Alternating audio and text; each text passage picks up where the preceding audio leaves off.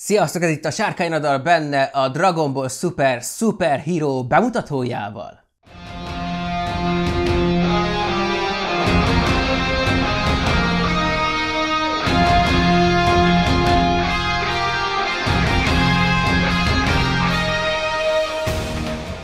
Olyan tálalással fogunk beszélni a moziról, hogy spoilermentesnek számít, ezáltal, aki megnézi ezt a videót, egy olyan bemutatást fog kapni az alkotásból, ami rávilágíthat arra, hogy mire számíthat, de nincs benne lebuktatás.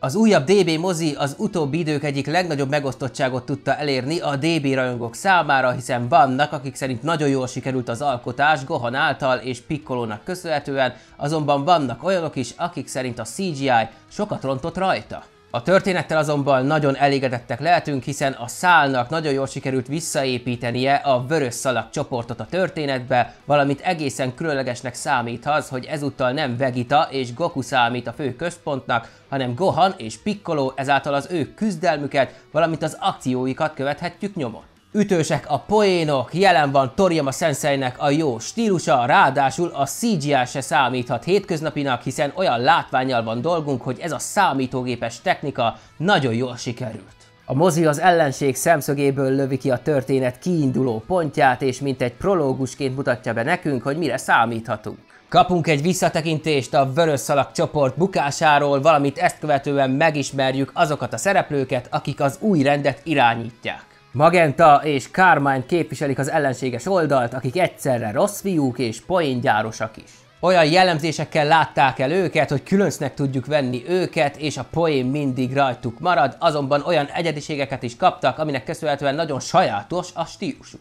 Harmadikként csatlakozik a bandájukba Dr. Hedo, a tudós, aki ugyanolyan alkotási készséggel rendelkezik, mint a híres Dr. Zero, így nem véletlen, hogy újra képbe kerülnek az androidok. A szálakat megkavarja az, hogy nagyon érződik a tudósunknak a kihasználtsága, valamint az is, hogy valóban olyan tudás van a birtokában, aminek köszönhetően tényleg veszélyt tud jelenteni a világra. Gokuék oldalát gonosz zsiványokká teszik Dr. Hedo szemében, akik ellen csak a szuperhősök vertik fel a versenyt, és így kapjuk meg a gammákat, akik bereklámozták az egész mozit. A játékidő többségében Gohannal és Pikolóval vagyunk, de kapott egy külön szálat Goku és Vegeta is, miközben Broly edzése folyik. Ki akarják hozni a hősünkből a nyugalmat, hogy a vadsága nélkül tudjon harcolni, és igazi hangulatbomba jelenetekkel találkozunk. Bills és Wish hozza a szokásos formáját, ezáltal az ételek iránti szeretet ezúttal sem marad el, de ezúttal találkozunk egy csattanóval is. A pusztítás istenünk ugyanis elárulja, hogy rá is hatnak a női bájak, és meg fogunk lepődni, hogy milyen típus jön be neki. Pan felkészítése, hogy ezáltal ki tudjon kupálódni, az egyik legjobb szálnak számít az alkotásban, mivel nagyon jó páros tud alkotni Pikkolóval, ezáltal a párosuk képes olyan hangulatot teremteni, mint amikor a Nameki Gohant edzette a DBZ-ben. Eredetiek az edzési módszerek, és nem érezzük hiteltelennek, ahogy egy kislány verekedni szeretne. A DB világában amúgy is általánosnak számíthat az, hogy valaki már kicsiként is tudjon verekedni, és mivel Pannak nagyon eltervezték a stílusát, valamint a harci mozdulatait, a harci viselkedése tényleg nagyon jól sikerült. A poénok mindig megjelennek Gokuék világában, ám ezúttal olyan jól sikerültek, mintha elengedte volna magát a történet azzal is viccet csinálnak, hogy Pikkolónak hétköznapi családos dolgokat kell csinálnia, bár az érezhető, hogy sokat változott a karaktere a kezdeti morgós ényéhez képest. Mobiltelefonja van, videócsetel és plüssöket kap, ami önmagában egy nagy tréfa, de amint kiderül, hogy a történet Gohannal is poénkodik, a vígjáték olyan szintet ér el, hogy a nézők jól vertik a tréfát, ám azt is várják, hogy Goku fiából újra menő legyen. Érződött rajta mindig is, hogy szeret tanulni, és inkább választaná az emberi életvitelt a csillagharcos harcolások helyett, azonban a mozi erőteljesen kimondja, hogy ez nem számít teljesen jó iránynak. Gohan megtarthatja a nyugalmas életét, azonban az nem járja, hogy nem tudná megvédeni a családját, ha úgy adódna, már pedig a kutató szemüveges verziója ezt mutatja a rajongóknak. A mozi utalást tesz a jelenkor női ideáljára is, ezáltal Bulma fiatalos szeretne maradni, és ugyan a hősnőnk korábban is megtett eféle kívánságokat, azonban ezúttal messzebbre merészkedett. Nem kis tréfának számít, hogy mit kíván pontosan, ez a szál pedig igazi Toriyama poén, vagyis olyan stílusban álltak ehhez a vicchez, ami képes megidézni a sima Dragon Ball-t, amikor Goku még kicsi volt.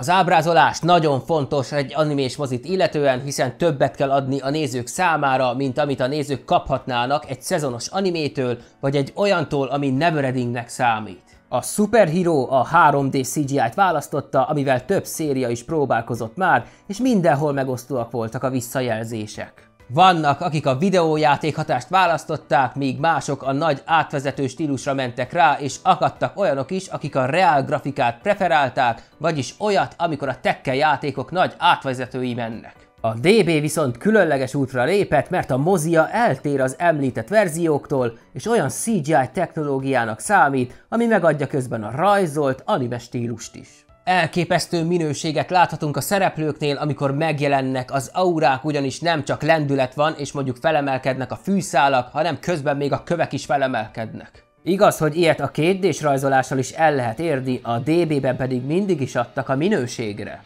Ám ezt a valóságbéli fűszál levegést és azt, ahogy az erők áramolnak, ezt a 2 rajzolás nem tudja így átadni. Gokuékat azóta akartuk elképzelni a való világban, ahogy harcolnak, amióta elhíresült a történetük, a CGI pedig olyan megvalósítást nyújt, hogy minél közelebb kerüljünk a valósághoz.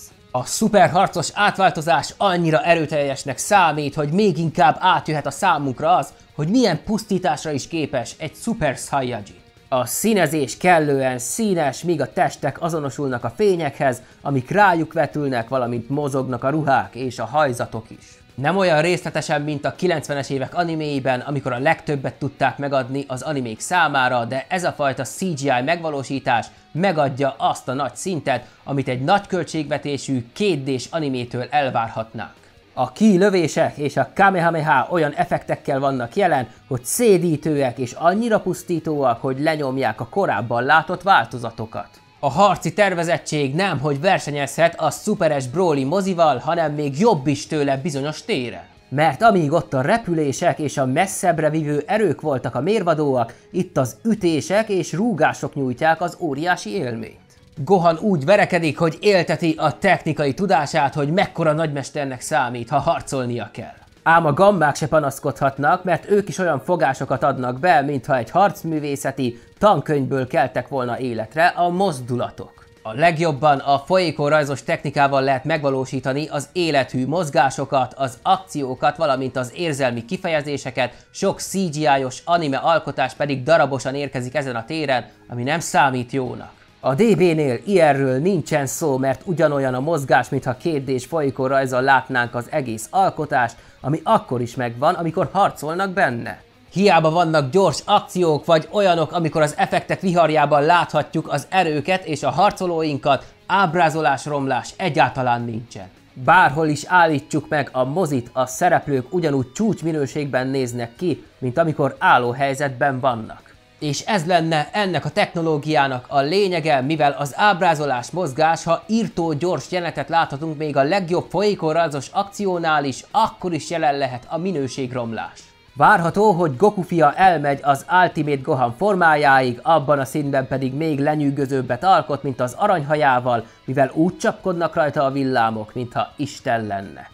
A DBZ-ben, valamint a DB Superben is lenyűgözőnek számít ez a fajta átváltozása, azonban a moziban ez a forma olyannak látszik, mintha Gohan szét tudna kapni csak úgy egy felhőkarcolót is. A reklámozások során nem rejtették el, hogy Piccolo is több szerepet kap az akciókban, és ő is óriásit alkot, sőt annyira kiveszi a részét a fináléból, hogy nélküle mindennek vége lett volna. Lesznek társaik is, ahogy azt megszokhattuk, így mindenki kiveszi a részét a fináléból. Ezáltal láthatjuk C18-at, illetve a tini korukba lépő Gotent és Trunksot is, ahogy neki mennek a fő ellenségnek. Olyan főgonoszt kapunk, aki méltó az alkotáshoz, és akinek a jelenlétét rendesen előkészítették a történet folyamán. Árulás és fordulat is lesz akkora látványjal, hogy szóhoz se jutunk, amikor átéljük a végső menetet. A történet kitett magáért, hogy komolyan tudjuk venni a főellenségünket, azonban lehetnek olyan nézők is, akik nem ilyen körülmények között látták volna. Megosztónak számít az utolsó roham is, és olyanok is lehetnek, akik nem akarják elfogadni, hogy Gohan milyen fontos szereplővé vált újra.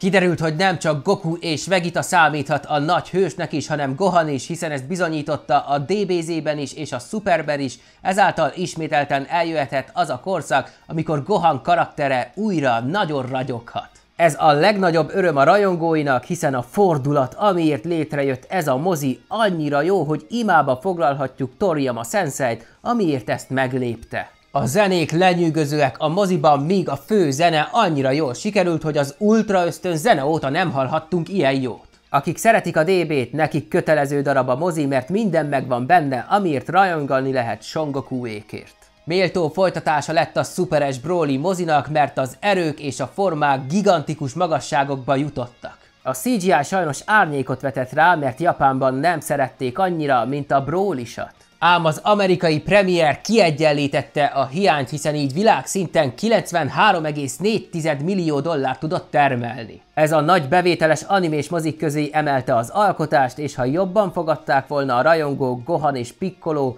bővebb szerepeltetését, Goku és Vegeta helyett, a mozi ennél is nagyobbat mehetett volna. De így is sikernek könyvelhetjük el, míg a főtörténet szempontjából olyan jövőt adhatott a DB-nek, aminek köszönhetően újra felnézhetünk Goharra, mint a szuperhősre, aki képes megvédeni a Földet. Akiknek segítségre lenne szükségük, hogy hol lehet megnézni a mozit, írjanak egy kommentet ezzel kapcsolatban a videó alá. Vagy keressenek fel bennünket a Mosi Facebook oldalán egy üzenetben a témával kapcsolatban, és szívesen segíteni fogunk. Ha nektek is megvan a véleményetek Gohan és Piccolo nagy szerepéről a moziban, azt osszátok meg kommentben a videó alá. Illetve arra is feleljetek, nektek tetszik-e a DB CGI-os iránya. Ez volt a Sárkányradar benne a Dragon Ball Super Super Hero mozi bemutatójával, spoilermentesen, találkozunk a legközelebbi alkalomkor. Addig is hellóztok! Ha tetszett a videó, lájkold, kommentelj, és iratkozz fel! És keresd a csatornát a további tartalmakért!